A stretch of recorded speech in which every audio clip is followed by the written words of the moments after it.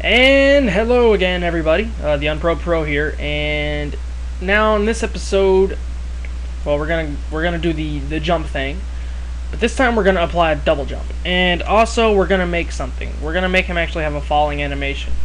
So on select the player and select character right, and then click Add Sequence, and then click or type in fall right where it says sequence name. Make the frame rate 12. It doesn't really matter, but and change the animation to 1. Okay, that's him falling and jumping. Okay, now add another sequence, name it fall left, and make sure, uh, go here and select character left, and then make it 1 as well. So there's his falling animation slash jumping animation. Okay, now we're going to do a little modification. Go to the draw actor, and, um, well, here's where it's going to get a little bit well, not really complicated, but okay. All right, let's see. Now, um, here, I'll go ahead and edit it in here, and I'll copy and paste everything so you can see it. Okay. If okay, well, first create a variable. Go to variables, and then go to add, and then name the variable jump. Just name it jump. It doesn't really matter. All right. Then, uh, if jump is not equal to one and then you, well, here, I'll, then you would uh, do the change animation to character right. Else, if, eh, let's not even use an else. If jump equals equals one, then we're gonna do another change animation. But this time, well, I'm just gonna copy and paste that. Fall right. All right, so your so your case one code should look like this. Yeah. If it actually gets copied this time. Uh, get it. Come on, then. Alright. So it should look like this. That should be your case 1, and I'm going to go ahead and write the case negative 1, and then I'm going to leave that there for a couple seconds. So you can do that. Alright. Okay, uh, hang on. Well, um, actually, I still need to modify something else, too. Alright. It won't take much. It's, it's not really that confusing. Um, if jump is not equal to 1. Oops. Alright. I'll go ahead and show you exactly what I did here. Course it would do this evilness again. Alright, so that's how your um, your case should look. Yeah. Your case 1 should look exactly like this. So go ahead and pause the video so you can get all that the way it's uh, supposed to look. Okay, so now in the character left, okay, we're going to kind of do the same thing, but hang on. If jump equals, wait, is not equal to 1. Change this character left. If jump equals equals 1. And again, uh, copy that. And then replace character left with fall left. Case sensitive, by the way. Uh, how, however you named it up here is how you're supposed to spell it here. Or you can just select it from the main thing if you want. Okay, if jump not equal to 1, meaning if uh, he's not jumping, and if oh, I, and I messed up on something too. I'm sorry, hang on, I'll, I'm sorry, I'm just like really tired. I'll fix it here in a second. If jump equals 1, change animation, fall left. Um, alright, just what I messed up on is over here in where uh, in the case one at the bottom where it says explanation mark and then equal, change that to two equals and change the first one. Wait, no, that's right. I'm sorry. Jeez, I'm all messed up. Alright. Is this right? Hang on, let me test this. Well, it's not going to be able to be tested right now. Ugh. Okay, this is like really... This is an unprofessional episode, man. Jeez. Okay, I'm going to go ahead and copy all of this. So your case 2, or your case negative 1, I'm sorry, should look like this.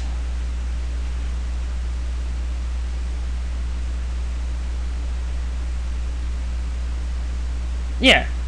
Yeah, okay. That's how it should look. Alrighty. Um, yep, that's exactly how it should look. Alright. Okay, so everything is right. Now, over... Okay. Um, now, underneath everything, you want to add... You want to add this. If collider dot y velocity is greater than uh, one is greater than 1.5 um, then yeah if it's greater than 1.5 jump equals 1 and that's what you want to do there. Put this there. And let's see hang on okay yep yep see now we got to modify the case 0 and to make him change animation depending. Okay. So if jump equals 1, hang on. Yeah, okay. If jump equals 1, or equals equals actually, you know, 2 equals. I'm sorry, I'm guys, I'm like really incredibly tired, but it's okay. I'm still getting it's, it's working. um, if anim index, wait. Okay, yeah. Okay, um. Alrighty. Oh, okay, never mind, I know what we need to do now. Alright. if dir, wait, if jump equals equals 1. This is at the very bottom. Yeah, see, I just kind of confused myself for a second. And uh, this is going to make it to where... Actually, no, let's do that at the top. Let's do this at the top. I know, I'm like really indecisive. And get rid of the else, too. Right there. Okay. If jump equals equals 1, and and, which I'll copy and paste this here in a second. And two and symbols, by the way. Otherwise, it's not going to work.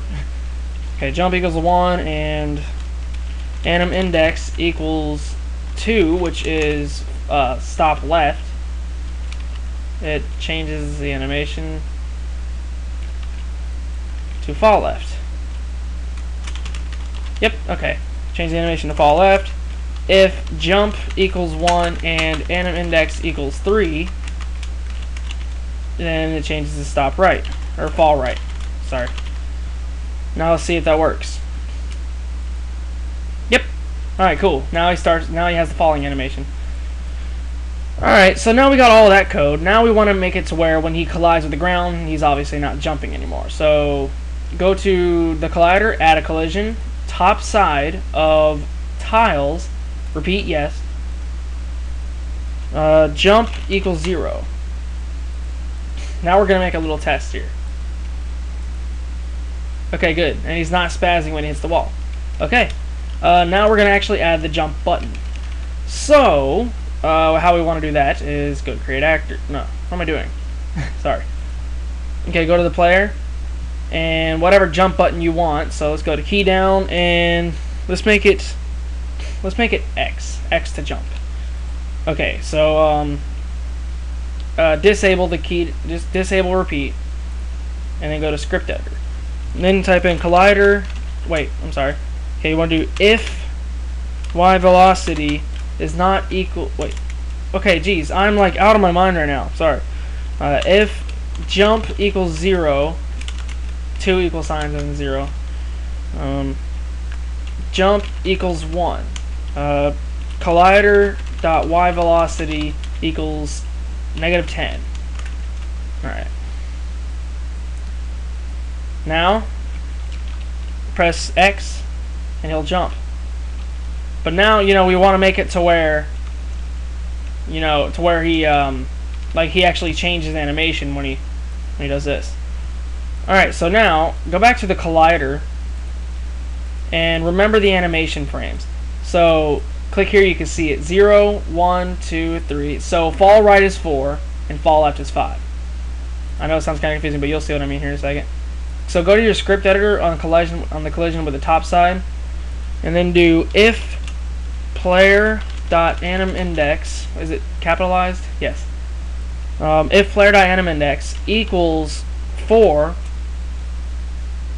yeah if, if if in other words if the player is falling left then it's going to change his animation to character stop left.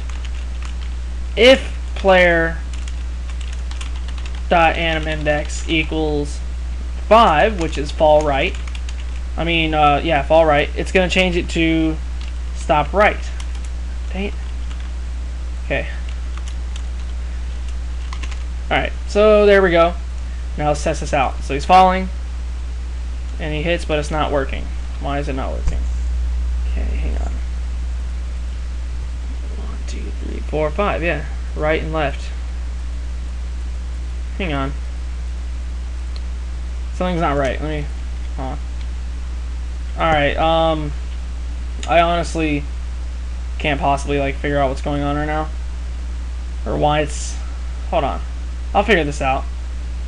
Give me one second. Okay, guys, I think I figured out another way. Um, one is to make sure the uh, in your first anim index equals equals zero and all that. Make sure you add anim jump equals equals zero to both of those, and then now we're gonna do this.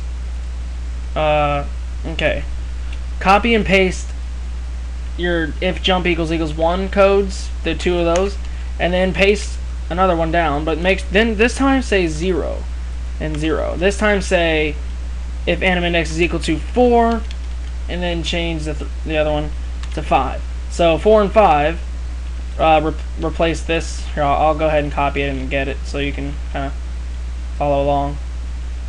Alright, your case 0 should look not so evil like that. Hang on. I don't know why Game Editor does this. like some kind of bug. Anyways, oh my gosh. Alright, your case 0 should look like that. Go ahead and pause it and uh, so you can get all that. Alright, so now let's test that out. Alright, it's a little backwards. so, um so, okay. I'm sorry, that was like backwards. So replace the bottom ones uh, right and left. Just kind of like switch them out. Yep. Alright, so there we go. So now your character can now jump. Okay. And uh, you'll notice if you hold X, he doesn't like repeatedly jump. And if you're colliding into a wall, he still collides with it. Alright, phew. Glad we got that done. But now if you notice, for some reason, you, if you collide into a wall and then jump, he can't move around. So I'll, go ahead and show you how to solve that. And that is, go all the way to the bottom and add another if statement.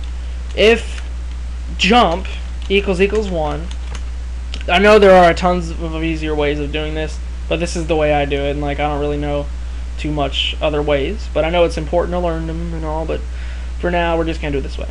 If jump equals equals 1, mr equals 0, ml equals 0. So now, while you're jumping, you can move in any direction. See? But, uh, for some reason... Oh, okay, I know exactly what's going on now. Go to the player and change at the bottom right here, change 1.5 to 2. Okay. Let's see. Yep, alright. All you need to do is change 1.5 to 2.